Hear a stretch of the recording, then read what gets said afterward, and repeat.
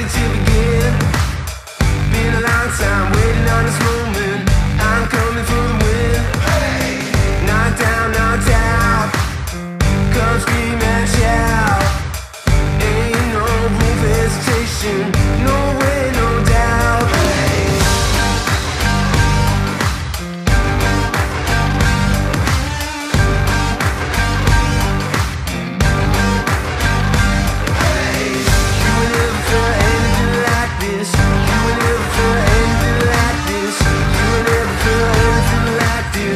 Taste the victory, all that sweetness.